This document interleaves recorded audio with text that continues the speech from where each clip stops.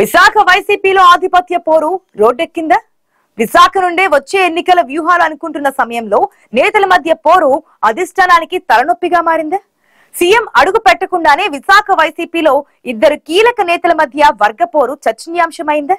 ఆ ఇద్దరు నేతల మధ్య ఆధిపత్య పోరు అధిష్టానం పెద్దలకు ఊపిరి ఆడనివ్వడం లేదా? విశాఖ వైసీపీలో అసలేం జరుగుతోంది? విశాఖలో గ్రూపు రాజకీయాలు వైసీపీ అధిష్టానానికి తలనొప్పిగా మారనున్నట్లు స్థానిక నేతలు గుసగుసలాడుకుంటున్నారు. కీలక నేతల మధ్య ఆధిపత్య పోరు వల్ల పార్టీకి నష్టం చేకూరే అవకాశం ఉందని భావిస్తున్నారు.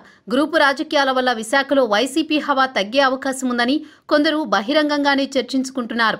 వైసీపీలో ఉన్న వర్గ విభేదాలను టీడీపీ తనకు ప్లస్గా మార్చుకునే అవకాశం ఉందని అంటున్నారు. ఉత్తరాంధ్ర ఇన్ఛార్జిగా నిన్నటి వరకు చక్రం తిప్పిన ఎంపీ విజయసాయిరెడ్డి ఉన్నట్టుండి విశాఖలో ఫేడౌట్ అయిపోయారని కొందరు చర్చించుకుంటున్నారు. విజయసాయిరెడ్డి మీద పలు ఆరోపణలు రావడం పార్టీ కేడర్లో గ్రూప్ పాలిటిక్స్ పెరగడంతో సీఎం జగన్ బంధువు వైసీపీలో కీలక నేతగా ఉన్న వైవి సుబ్బారెడ్డిని విశాఖకు పంపారు.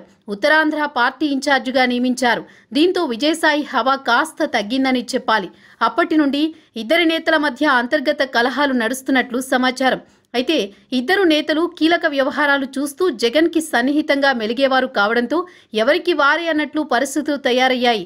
అయితే జోనల్ ఇన్ఛార్జీల నియామకంలో ఒక్కసారిగా ఈ రెండు గ్రూపుల మధ్య విభేదాలు భగ్గుమన్నాయి.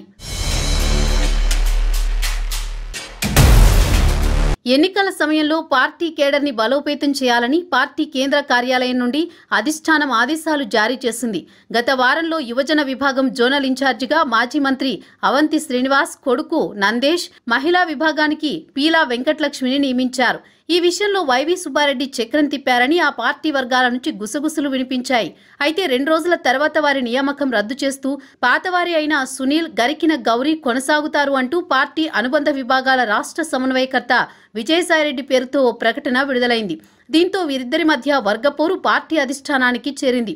ఈ నేపథ్యంలో ఎంపీ విజయసాయిరెడ్డిని నెల్లూరు ప్రకాశం జిల్లాల ఇన్ఛార్జిగా నియమిస్తూ పార్టీ ప్రకటన చేసింది.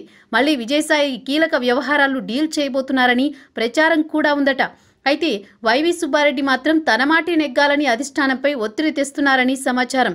విజయసాయిరెడ్డి పేరుతో ప్రకటన వచ్చినా ఆయన ఏమీ ఇప్పటి వరకు స్పందించలేదట. ఈ నేపథ్యంలో జోనల్ ఇన్ఛార్జీ మాట అటుంచితే రీజనల్ ఇన్ఛార్జీల మధ్య విభేదాలు పార్టీకి ప్లస్ మైనస్లు అని అధిష్టానం అంచనా వేస్తుందట. మరోవైపు విజయసాయిరెడ్డి అనుచరులుగా పిలువబడే కార్పొరేటర్ పి సురేష్ పశ్చిమ నియోజకవర్గ నేత దొడ్డి కిరణ్ అనే వారిని పార్టీ వ్యతిరేక కార్యకలాపాలకు పాల్పడ్డారని సస్పెండ్ చేసినట్లు మరో ప్రకటన వచ్చింది. ఈ వ్యవహారంలో వైవి కీలకంగా వ్యవహరించారని కామెంట్స్ వినిపిస్తున్నాయి. అయితే విజయసాయి వర్గం మాత్రం కొంచెం గట్టి పట్టు పడుతున్నారట. పదవులు మారిస్తే పార్టీకి కష్టాలు తప్పవని సంకేతాలు ఇస్తున్నారట. ఈ వ్యవహారం మీద కేంద్ర కమిటీ సీరియస్ అయిందని పొలిటికల్ టాక్ నడుస్తోంది. ఏది ఏమైనా తమకు సంబంధం లేనట్లు నేతలు మాత్రం తమకు ఇష్టం వచ్చినట్లు వ్యవహరిస్తున్నారట. తమ అనుచరుల కోసం ఇద్దరు ఆధిపత్య పోరుకు సిద్ధమవుతున్నారట. ఈ వ్యవహారం పార్టీ అధిష్టానానికి తలనొప్పిగా మారినట్లు తెలుస్తోంది. మరి ఇద్దరు నేతలను పిలిచి జగన్ క్లాస్ తీసుకుంటారా? లేక ఇద్దరికీ నచ్చజెప్పి బుజ్జగిస్తారా అనేది చూడాల్సి ఉంది. అదీ కాదనుకుంటే ఇద్దరు నేతలను పక్కన పెట్టి కొత్త వారిని రంగంలోకి దించుతారా అనేది చర్చనీయాంశంగా మారింది. మొత్తానికి అనుచరుల కోసం కీలక నేతల మధ్య ప్రకటనల వార్ చినికి చినికి గాలివానలా మారే అవకాశాలు కనిపిస్తున్నాయి. మరి ఇద్దరి మధ్య పోరుతో చివరికి ఉత్తరాంధ్ర కింగ్ మేకర్ ఎవరో చూడాల్సి ఉంది.